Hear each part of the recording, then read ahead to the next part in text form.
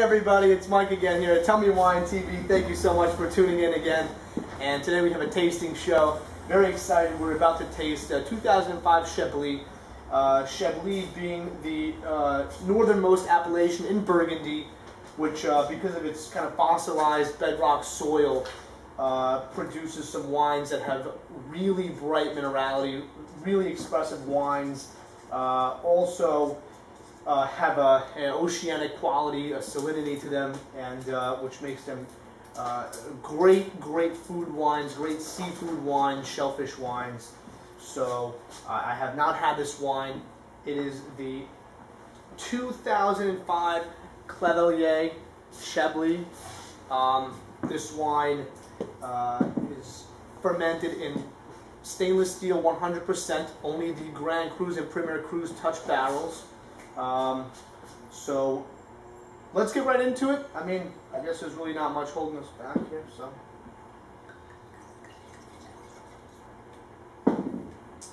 Okay, so the color is that of like a golden raisin, um, kind of a, a, a dried straw. Uh, pretty color. Yeah, I mean, it, it, exact,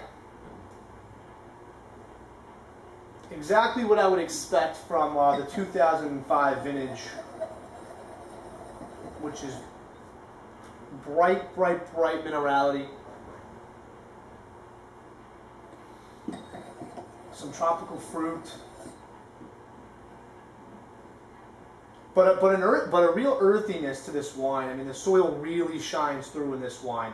Uh, there is there is a salinity, there is a minerality, there's a there's a there's a, a, a funkiness that, that that's in this wine. Let's give it a shot.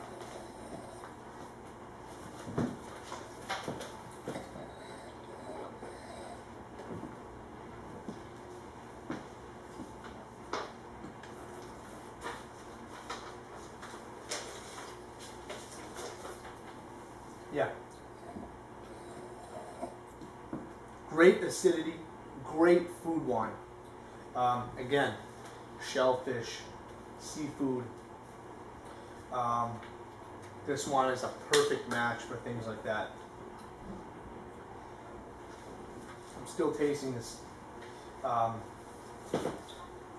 wow, I'm pretty excited. It has a toasty quality to it that uh, I, I, I wouldn't really expect given the fact that it was 100% stainless steel fermentation. But the soil really is the is the key to this wine, and uh, is what makes this wine exactly what it is.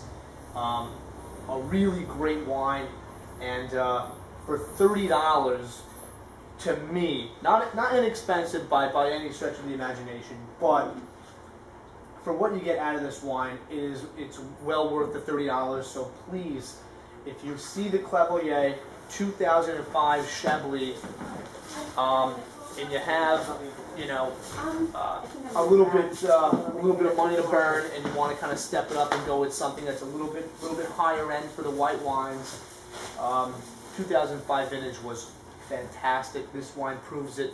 So keep sending your questions in check out the Chablis 2005. If it's not the Clavelier, try any 2005 Chablis.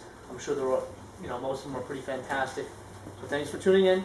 Again, send in your questions. We love them. Um, questions, comments, anything to Tell Me Wine TV. And uh, thanks for tuning in. We'll see you again.